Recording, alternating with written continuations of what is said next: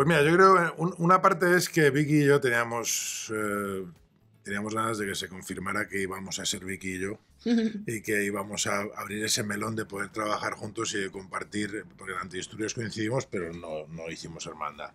Entonces creo que los dos estábamos así, cada uno en su lado, porque no hablamos, hasta que estábamos no hablamos.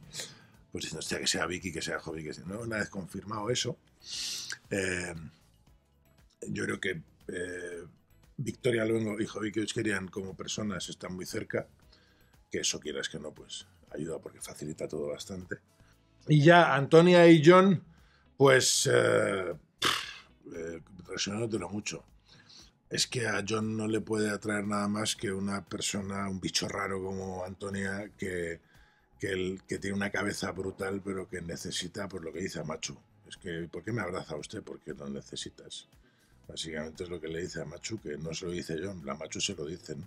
Pues nada le puede atraer más a, a, a John que alguien así. Sí, yo creo que son dos personajes que eh, necesitan amor y no son del todo conscientes de ello. Y creo que encontrarse les hace iniciar una historia de amor que para mí es de lo mejor de la serie. Quiero decir, eh, estamos muy acostumbrados a ver eh, historias de amor que siempre acaban en sexo, en ¿no? cosas eróticas, románticas, el amor romántico. Y creo que vemos una historia de amor en esta serie que es un amor incondicional de dos personas que se quieren, se necesitan y no se atraen sexualmente. Es otro tipo de atracción y me apetecía también mucho contar eso. No, ya lo hemos No, en absoluto. No, porque, mira, aparte, mira, se me acaba de venir una cosa a la cabeza cuando he dicho 3 millones. Eh, ha dicho María José antes en la rueda de prensa que vamos a salir en 240 países del mundo a la vez. en el mundo somos 7.500 millones de habitantes. Vamos a poner que tienen Prime Amazon, vamos a poner tirando por arriba, por arriba, muy, muy, muy por arriba. Vamos a tener que tienen Prime Amazon 600.000. ¿Mil millones? Venga, vamos a poner mil millones. Vamos a poner que esos mil millones ven la serie eh, 500.000 personas. ¿Vale?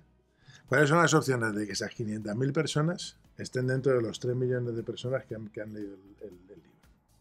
O sea, quiere decir, va a haber muchísima gente que va a ver la serie porque es un producto audiovisual. O sea, eso es España. Pero va a haber muchísima peña afuera que va a ver la serie sin tener ni idea de cuál es el, el universo de Juan el Jurado. Y yo creo que lo tenemos. O sea, la serie funciona, indistintamente de que te hayas leído las novelas o no. ¿Y qué expectativas tiene todo el mundo? Yo creo, quiero decir, hayas leído la novela, evidentemente, quizá tienes más, pero yo se han estrenado películas en mi vida, no, no mías interpretadas, ¿eh? sino yo como espectadora, que voy al cine y digo, ¡buah! Tengo unas ganas de ver esto, ojalá me flipe. Y voy y digo, digo ah, pues no me ha gustado. Y no, y no estaba basado en un libro, quiero decir, y esa gente, pues yo que sé, tiene más ton de presión por hacer Poor Things, pues supongo que sí que tuvo presión, pero al final la presión está un poco siempre, que es las ganas de hacerlo bien, pero no hay que estar pensando como en eso de los lectores, porque en realidad siempre hay gente que espera ver algo que le guste, aunque hayan leído una novela o no la hayan leído, ¿sabes? Pues me hace mucha ilusión que lo hayas eh, visto.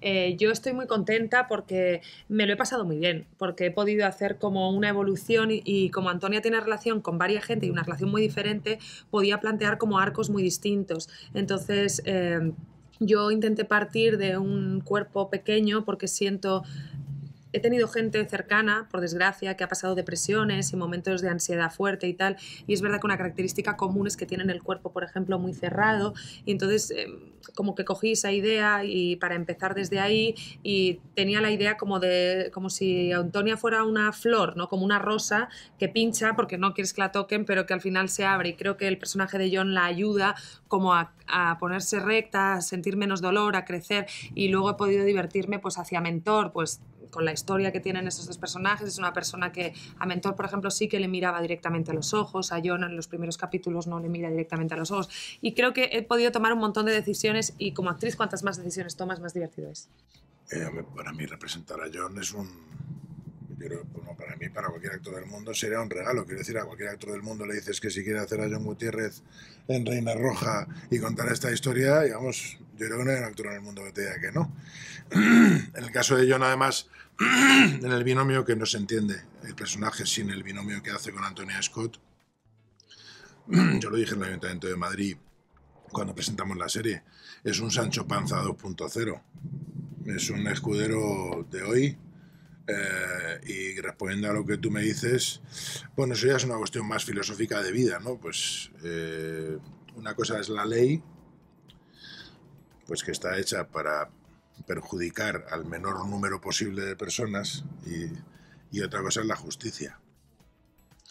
Entonces, eh, con la iglesia hemos topado, querido Esa Sancho. frase me encanta, te la voy a robar. Hombre, claro, es que son dos, son dos conceptos totalmente distintos. Hay que, hay, que, hay que ponerlo en una normativa para que la cumplamos todos. Pero John ha crecido así. O sea, una cosa es lo que me dices que tengo que hacer y lo que se supone que pone ahí que tengo que hacer. Y otra cosa es lo que a mí mi alma me pide que haga, que es lo que voy a acabar haciendo. Eh, yo es que he vivido ahí, yo, yo, he vivido ahí de siempre. Entonces yo con John me siento muy identificado en muchas cosas. Por eso le pone el kilo de jaco en el coche al otro. Y, y no le maza hostia, pues porque se lo piensa dos veces, pero le mazaría a hostia. ¿sabes? Dice, Que soy policía. ¿sabes? ha sido un lujo para mí. Ha sido un lujo y luego ver que finalmente, viendo la serie, funciona, esto funciona. Que desde fuera se veía ya, pero nosotros pues tenemos que verlo ya, ¿no? Y es una maravilla, un regalo. No te puedo decir más.